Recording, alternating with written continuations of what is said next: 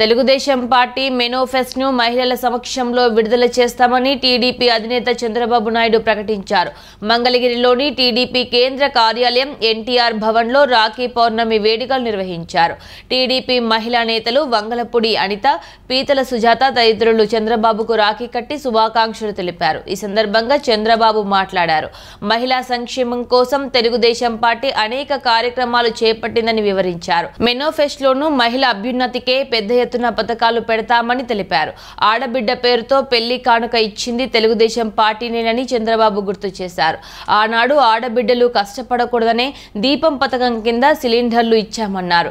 ఆడబిడ్డల భవిష్యత్తుకు మహాశక్తి పథకం తోడ్పడుతుందన్నారు. మహిళలను ఆర్థికంగా స్థిరపరిచేందుకు టీడీపీ అన్ని వేళ కృషి చేస్తుందని స్పష్టం చేశారు. మహిళలను శక్తిమంతులుగా తయారు చేయడమే టీడీపీ లక్ష్యం. ఎన్టీఆర్ ఆత్మగౌరవం ఇస్తే నేను ఆత్మవిశ్వాసం విశ్వాసం ఇచ్చాను టీడీపీ గెలుస్తుందని సంకల్పం చేసుకొని ప్రయత్నించండి. మీ భవిష్యత్తు గ్యారంటీ నాది. భవిష్యత్తులో టీడీపీ కరెంటు ఛార్జీలు పెంచదని స్పష్టం చేశారు. ప్రతి ఒక్క పేదవాడిని కూడా ధనుకుడు చేసే కార్యక్రమానికి శ్రీకారం చుట్టే సమయం ఆసన్నమైంది. ఇది కొంతమందికి అతిశయోక్తిగా అనిపించవచ్చు నేను మా ఊర్లో పుట్టినప్పుడు చిన్నవాడినే. ఎన్టీ రామారావు కూడా చిన్నవాడే. గాంధీ కూడా చిన్నవాడే. అంబేద్కర్ కూడా అట్లే పుట్టారు. కానీ వాళ్ళ జీవితంలో అచంచలమైన విశ్వాసంతో ముందుకు పోయారు. శక్తివంతమైన వ్యక్తులే కాకుండా సమాజంలో శాశ్వతంగా ఒక మహాపురుషులుగా మిగిలిపోయే పరిస్థితికి వచ్చారంటే అది వాళ్ళ సాధన. అందుకే నేను ఇక్కడ ఆలోచించేది ఏంటంటే ఈ కార్యక్రమంలో ఏదైతే ఆడబిడ్డ నిధి మీరు సంపాదించే డబ్బులు ప్రైవేటు వ్యక్తుల భాగస్వామ్యం ప్రభుత్వ సహకారంతో ప్రతి ఒక్క కుటుంబాన్ని ధనికులుగా చేసే ఫస్ట్ కుటుంబం పేదరికంలో పేదరికం నుంచి పైకి తీసుకురావడం. పేదరికం నుంచి పైకొచ్చిన కుటుంబాన్ని ధనిక కుటుంబం చేయడం. ఇది నిరంతరం చేయాల్సిన అవసరం ఉంది. తెలుగుదేశం పార్టీ శాశ్వతంగా ఈ పేదవాళ్ళ పక్షానుంటాం మిమ్మల్ని బాగు చేసే వరకు నిరంతరం పోరాడతాం. ప్రభుత్వం ఏ కార్యక్రమం చేసిన టెక్నాలజీ వచ్చేసింది. మీరంతా ఫోన్లు వాడేస్తున్నారు. ఒకప్పుడు ఆ ఫోన్ కూడా అర్థం కాల చాలామందికి ఈ ఫోన్ వల్ల ఏం ఉపయోగం ఉంటుందని ఇరవై ఐదేళ్ళకి మునుపు. నేనంటే చాలామంది నన్ను ఎగతాళి చేశారు. ఫోన్ ఏమైనా తిండి పెడుతుందా అని మాట్లాడిన వాళ్ళు ఇప్పుడు వాళ్ళు ఇక్కడ కొంతమంది మాట్లాడే పరిస్థితులు లేరు. కానీ అది దూరదృష్టి.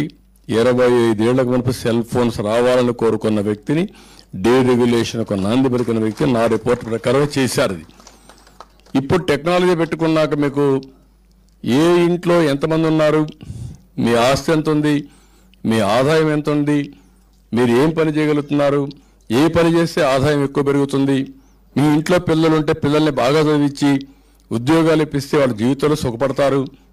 ఇలాంటి చేయడానికి చాలా సులభం. అందుకే short term medium term long term vision ఇచ్చి ఆ విజన్ తయారు చేయడానికి కూడా ఇప్పుడు చాట్ జీపీటీ వచ్చేసింది. మీకు ఏం కావాలో అన్నీ ఇస్తే అదే ఒక విజన్ తయారు చేయిస్తుంది. దాన్ని కొంచెం కరెక్ట్ చేసుకుంటే ఇంకా ముందుకు పోయే పరిస్థితి వస్తుంది. అలాంటి దానికి శ్రీకారం చుడుతున్నాం. దీంతో నేను ఆలోచించేది ఏంటంటే ప్రతి ఒక్క మహిళ ఆ కుటుంబానికి ఒక హెడ్గా ఇంత పెట్టుకొని మిమ్మల్ని పేదవాళ్ళు ఉంటే ఒకేసారి నేను కోటీశ్వరం చేస్తాను నమ్మరు. కానీ పేదరికం నుంచి పైకి తీసుకురావడం.